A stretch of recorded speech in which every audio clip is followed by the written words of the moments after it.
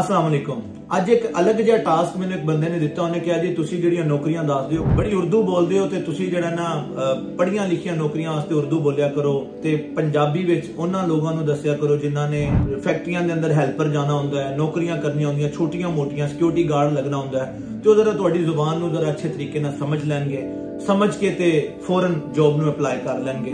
ਕਈ ਦਫਾ ਹੁੰਦਾ ਹੈ ਕਿ ਇੱਕ ਝਟਕਾ ਜਿਹਾ ਬੰਦਾ ਹੁੰਦਾ, ਉਹਨੂੰ ਤੁਹਾਡੀ ਜ਼ੁਬਾਨ ਦੀ ਸਮਝ ਨਹੀਂ ਆਉਂਦੀ, ਉਹ ਪਰੇਸ਼ਾਨ ਹੋ ਜਾਂਦਾ ਹੈ ਕਿ ਇੱਕ ਦੀ ਔਖੀ ਜੀ ਉਰਦੂ। ਹਾਲਾਂਕਿ ਸਾਡੀ ਕੌਮੀ ਜ਼ੁਬਾਨ ਹੈ, ਲੇਕਿਨ ਮਾਦਰੀ ਜ਼ੁਬਾਨ ਜਿਹੜੀ ਹੈ, ਸਾਨੂੰ ਸਭ ਤੋਂ ਜ਼ਿਆਦਾ ਪਿਆਰ ਜਿਹੜਾ ਹੁੰਦਾ, ਉਹ ਆਪਣੀ ਮਾਂ ਬੋਲੀ ਦੇ ਨਾਲ ਹੁੰਦਾ ਹੈ, ਮਾਂ ਦੀ ਜ਼ੁਬਾਨ ਨਾਲ ਹੁੰਦਾ ਹੈ, ਜਿਹੜੀ ਬਚਪਨ ਤੋਂ ਅਸੀਂ ਸੁਣਦੇ ਆ ਰਹੇ ਹੁੰਦੇ ਹਾਂ। ਫਿਰ ਇੱਕ ਨਿਸਾਬ ਦੇ ਅੰਦਰ ਉਰਦੂ ਸ਼ਾਮਲ ਹੋ ਜਾਂਦੀ ਹੈ ਤੇ ਸਾਨੂੰ ਉਹ ਵੀ ਸਿੱਖਣੀ ਪੈਂਦੀ ਹੈ, ਜਿਹੜੀ ਸਾਡੀ ਕੌਮੀ ਜ਼ੁਬਾਨ ਹੈ ਅੱਜ ਤੱਕ ਪਾਕਿਸਤਾਨ ਦੇ ਅੰਦਰ ਕੌਮੀ ਜ਼ੁਬਾਨ ਦੇ ਉੱਤੇ ਬੜਾ ਕੰਮ ਕੀਤਾ ਗਿਆ ਹੈ। ਲੇਕਿਨ ਜਦੋਂ ਵੀ ਨੋਟੀਫਿਕੇਸ਼ਨ ਜਾਰੀ ਹੁੰਦਾ ਹੈ ਕਿ ਅਸੀਂ ਆਪਣੀ ਕੌਮੀ ਜ਼ੁਬਾਨ ਨੂੰ ਜਿਹੜਾ ਨਾ ਅਹਿਮੀਅਤ ਦੇਣੀ ਹੈ, ਇਹ ਨੋਟੀਫਿਕੇਸ਼ਨ ਵੀ ਇੰਗਲਿਸ਼ ਦੇ ਅੰਦਰ ਹੀ ਜਾਰੀ ਹੁੰਦਾ ਹੈ। ਇੰਟਰਨੈਸ਼ਨਲ ਲੈਂਗੁਏਜ ਜਿਹੜੀ ਉਹ ਤੁਹਾਨੂੰ ਪਤਾ ਹੈ ਕਿ ਉਹ ਇੰਗਲਿਸ਼ ਹੀ ਹੁੰਦੀ ਹੈ ਕਿਉਂਕਿ ਅਸੀਂ ਗੁਲਾਮ ਔਰ ਗੁਲਾਮ ਦਰ ਗੁਲਾਮ ਪੂਰੀ ਦੁਨੀਆ ਦੇ, ਕੂਵਤਾਂ ਦੇ। ਕੌਮੀ ਜ਼ੁਬਾਨ ਸਾਡੀ ਉਰਦੂ ਕਿਉਂਕਿ ਇੱਕ ਲਸ਼ਕਰੀ ਜ਼ੁਬਾਨ ਹੈ, ਇੱਕ ਲਸ਼ਕਰ ਇਕੱਠਾ ਹੁੰਦਾ ਹੈ। ਔਰ ਮੁxtਲਿਫ ਬੋਲੀਆਂ ਇਕੱਠੀਆਂ ਕਰਕੇ ਜ਼ੁਬਾਨ ਨੂੰ, ਲਫ਼ਜ਼ਾਂ ਨੂੰ, ਫਿਕਰਿਆਂ ਨੂੰ, ਜੁਮਲਿਆਂ ਨੂੰ ਜੋੜ ਕੇ ਅਸੀਂ ਜਿਹੜਾ ਉਹ ਲਸ਼ਕਰੀ ਜ਼ੁਬਾਨ ਨੂੰ ਉਰਦੂ ਦਾ ਨਾਮ ਦੇ ਦਿੱਤਾ, ਜਿਹੜੀ ਸਾਡੀ ਕੌਮੀ ਜ਼ੁਬਾਨ ਬਣ ਗਈ।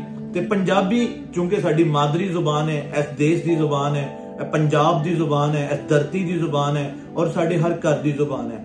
ਤੇ ਪੰਜਾਬੀ ਦੇ ਅੰਦਰ ਤੁਹਾਨੂੰ ਫੈਕਟਰੀਆਂ ਦੀ ਬਹੁਤ ਸਾਰੀਆਂ ਨੌਕਰੀਆਂ ਅਸੀਂ ਦੱਸ ਸਕਦੇ ਹਾਂ। ਅਗਰ ਤੁਸੀਂ ਨੌਕਰੀਆਂ ਕਰਨਾ ਚਾਹ ਰਹੇ ਹੋ, ਤੇ ਸਾਡੇ ਕੋਲ ਇਸ ਟਾਈਮ ਪੈਪਸੀ ਦੀ ਫੈਕਟਰੀ ਦੇ ਅੰਦਰ ਨੌਕਰੀਆਂ ਨੇ। ਇਸੇ ਤਰ੍ਹਾਂ ਖਿਲੋਨਿਆਂ ਦੀ ਫੈਕਟਰੀ ਦੇ ਅੰਦਰ ਬਹੁਤ ਸਾਰੀਆਂ ਨੌਕਰੀਆਂ ਨੇ, ਬਿਸਕਟ ਦੀ ਫੈਕਟਰੀ ਦੇ ਅੰਦਰ ਬਹੁਤ ਸਾਰੀਆਂ ਨੌਕਰੀਆਂ ਨੇ, ਸਿਰਿੰਜ ਬਣਾਉਣ ਵਾਲੀ ਫੈਕਟਰੀ ਦੇ ਅੰਦਰ ਬਹੁਤ ਸਾਰੀਆਂ ਨੌਕਰੀਆਂ ਨੇ, ਇਸੇ ਤਰ੍ਹਾਂ ਮੋਟਰਸਾਈਕਲਾਂ ਦਾ ਸਮਾਨ ਤਿਆਰ ਕਰਨ ਵਾਲੀ ਫੈਕਟਰੀ ਦੇ ਅੰਦਰ ਬਹੁਤ ਸਾਰੀਆਂ ਨੌਕਰੀਆਂ ਨੇ। ਟੈਲੈਂਟ ਕਨੈਕਟਿੰਗ ਲਾਹੌਰ ਦਾ ਪਹਿਲਾ ਸਭ ਤੋਂ ਵੱਡਾ ਜੌਬ ਇਨਫੋਰਮੇਸ਼ਨ ਸੈਂਟਰ ਹੈ, ਜਿੱਥੇ ਨੌਕਰੀਆਂ ਹੀ ਨੌਕਰੀਆਂ ਆਉਂਦੀਆਂ ਨੇ। ਰੋਜ਼ਾਨਾ ਬਹੁਤ ਸਾਰੇ ਅਫਰਾਦ ਆਉਂਦੇ ਨੇ, ਨੌਕਰੀਆਂ ਅਪਲਾਈ ਕਰਦੇ ਨੇ, ਔਰ ਉਹਨਾਂ ਨੂੰ ਜਾ ਕੇ ਜੁਆਇਨ ਕਰਦੇ ਨੇ। ਟੈਲੈਂਟ ਕਨੈਕਟਿੰਗ ਦਾ ਅਜ਼ਮ ਰਿਹਾ 4 ਸਾਲ ਹੋਣ ਵਾਲੇ ਨੇ ਕਿ ਅਸੀਂ ਲਾਹੌਰ ਦੇ ਅੰਦਰ ਜਿੰਨਾ ਕੰਮ ਕਰ ਸਕਦੇ ਹਾਂ ਜਿੰਨੇ ਲੋਕਾਂ ਨੂੰ ਬੇਰੋਜ਼ਗਾਰੀ ਤੋਂ ਕੱਢ ਸਕਦੇ ਹਾਂ ਜਿੰਨੇ ਲੋਕਾਂ ਨੂੰ ਰੋਜ਼ਗਾਰ ਤੇ ਲਵਾ ਸਕਦੇ ਹਾਂ ਜਿੰਨੇ ਲੋਕਾਂ ਵਾਸਤੇ ਆਸਾਨੀ ਦਾ ਮਾਮਲਾ ਪੈਦਾ ਕਰ ਸਕਦੇ ਹਾਂ ਅਸੀਂ ਆਪਣੀ ਕੋਸ਼ਿਸ਼ ਤੇ ਆਪਣੀ ਹਿੰਮਤ ਨੂੰ ਜਾਰੀ ਰੱਖਾਂਗੇ ਇਹਨਾਂ ਚਾਰਾਂ ਫੈਕਟਰੀਆਂ ਦੇ ਅੰਦਰ ਜਿਨ੍ਹਾਂ ਦੇ ਮੈਂ ਨਾਮ ਲਏ ਨੇ ਨਾ تعلیم ਦੀ ਜ਼ਰੂਰਤ ਹੈ ਨਾ ਤਜਰਬੇ ਦੀ ਜ਼ਰੂਰਤ ਹੈ ਤੇ ਉਮਰ ਦੀ ਤਾਂ ਕੋਈ ਕੈਦ ਹੀ ਨਹੀਂ ਹੈਗੀ ਯਾਨੀ ਤੁਸੀਂ 18 ਸਾਲ ਦੇ ਹੋ 18 ਸਾਲ ਤੋਂ ਲੈ ਕੇ 45 ਸਾਲ ਤੱਕ ਦੇ ਤਮਾਮ ਬੰਦੇ, ਤਮਾਮ ਜੀ ਇਹਨਾਂ ਨੌਕਰੀਆਂ ਨੂੰ ਅਪਲਾਈ ਕਰ ਸਕਦੇ ਨੇ। ਸਿਰਫ ਤੁਹਾਡੇ ਕੋਲ ਤੁਹਾਡਾ ਅਸਲ ਸ਼ਨਾਖਤੀ ਕਾਰਡ ਹੋਣਾ ਚਾਹੀਦਾ ਹੈ। ਅਗਰ ਤੁਹਾਡੇ ਕੋਲ ਅਸਲ ਸ਼ਨਾਖਤੀ ਕਾਰਡ ਮੌਜੂਦ ਹੈ, ਤੇ ਤੁਸੀਂ ਇਹਨਾਂ ਸਾਰੀਆਂ ਨੌਕਰੀਆਂ ਨੂੰ ਠੱਕ ਕਰਕੇ ਜੁਆਇਨ ਕਰ ਸਕਦੇ ਹੋ।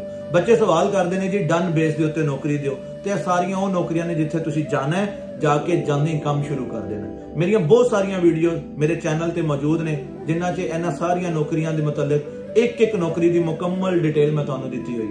ਉਸ ਡਿਟੇਲ ਦੇ ਅੰਦਰ ਵੀ ਅਸੀਂ ਤੁਹਾਨੂੰ ਦੱਸੀਦਾ ਕਿ ਤੁਸੀਂ ਆਪਣੇ ਸਾਮਾਨ, ਆਪਣਾ ਕੱਪੜੇ, ਆਪਣੇ ਬਿਸਤਰ ਨਾਲ ਲੈ ਆਓ, ਕਿਉਂਕਿ ਤੁਹਾਨੂੰ ਜਿਸ ਦਿਨ ਤੁਸੀਂ ਲਾਹੌਰ ਪਹੁੰਚਣਾ ਉਸੇ ਦਿਨ ਕੰਮ ਤੇ ਖੜਾ ਕਰ ਦਿੱਤਾ ਜਾਣਾ ਹੈ। ਤੇ ਬਹੁਤ ਸਾਰੇ ਬੱਚੇ ਫਿਰ ਇਹ ਸ਼ਿਕਾਇਤ ਕਰਦੇ ਨੇ ਕਿ ਭਾਜੀ ਅਸੀਂ ਤੇ ਬੜਾ ਲੰਮਾ ਸਫ਼ਰ ਕਰਕੇ ਆਏ ਤੇ ਆਂਦੇ ਹੀ ਸਾਨੂੰ ਉਹਨਾਂ ਕੰਮ ਤੇ ਲਾ ਦਿੱਤਾ ਤੇ ਜਦੋਂ ਕੰਮ ਤੇ ਆ ਰਹੇ ਹੁੰਦੇ ਨੇ ਤੇ ਪਰੇਸ਼ਾਨ ਹੁੰਦੇ ਨੇ, ਪਤਾ ਨਹੀਂ ਸਾਨੂੰ ਕੰਮ ਮਿਲੇਗਾ ਕਿ ਨਹੀਂ ਮਿਲੇਗਾ।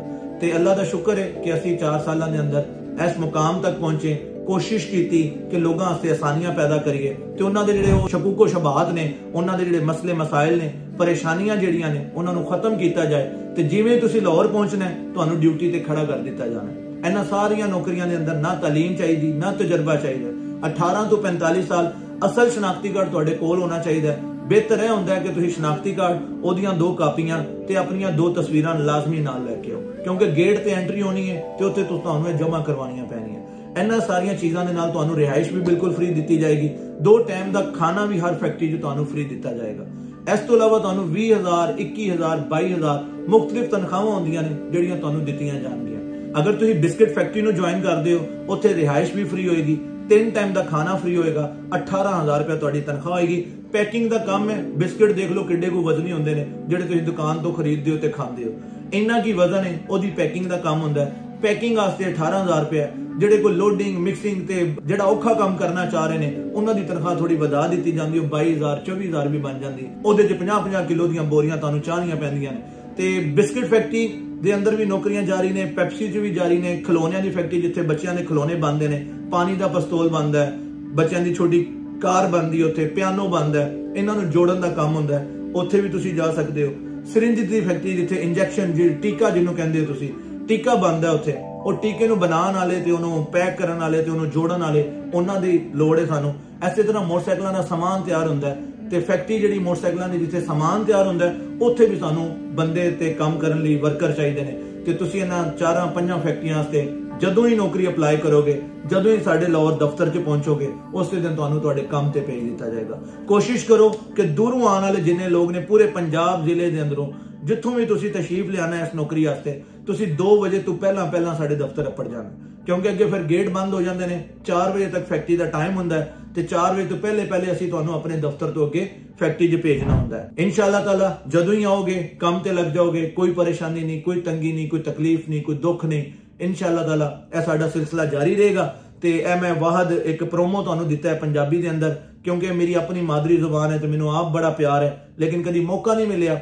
ਅੱਜ ਉਮੀਦ ਹੈ ਕਿ ਤੁਹਾਨੂੰ ਸਾਡੀ ਇਹ ਵੀਡੀਓ ਪਸੰਦ ਆਈ ਹੋਵੇਗੀ ਅਗਰ ਪਸੰਦ ਆਈ ਹੈ ਤਾਂ ਸਾਡੇ ਚੈਨਲ ਨੂੰ ਸਬਸਕ੍ਰਾਈਬ ਕਰੋ ਬੈਲ ਆਈਕਨ ਨੂੰ ਪ੍ਰੈਸ ਕਰ ਦਿਓ ਤਾਂ ਕਿ ਇਨਸ਼ਾਅੱਲਾ ਤਾਲਾ ਅਸੀਂ ਇੰਜ ਦੀਆਂ ਹੋਰ ਵੀਡੀਓ ਬਣਾ ਬਣਾ ਕੇ ਤੁਹਾਡੇ ਤੱਕ ਪਹੁੰਚਾਈਏ ਆਪਣਾ ਖਿਆਲ ਰੱਖੋ ਮੁਲਕ ਪਾਕਿਸਤਾਨ ਦਾ ਖਿਆਲ ਰੱਖੋ ਅੱਲਾ ਹਾਫਿਜ਼